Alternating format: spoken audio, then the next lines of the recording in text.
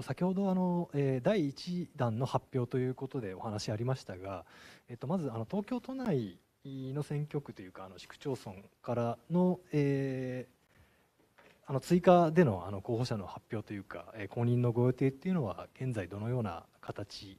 でご予定されていますでしょうか？はい、えー、ご質問ありがとうございます。あの東京都内は、えー、まあ23区そして、えー、都市部もですね26都市町村ありますので、えー、順次今候補者選考を進めさせていただいているところです。えー、まずは第1弾のまあ4名ということですが、特にこの4名はですね、えー、本当にこの令和新選組この決闘からまあ3年、えー、そして少し経ってますが、一番その原点に立ち返るそのボランティアっていうことを本当に地道に、え活動してきた、え特にそのボランティアから、え議員になってほしいということを目指す令和新選組としての、え統一地方選挙に向けた、え第1グループの4人ですね。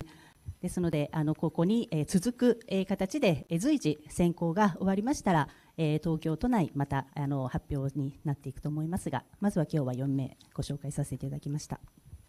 都内全体であの目標としてどれぐらいの人数の例えば当選を目指していらっしゃるとか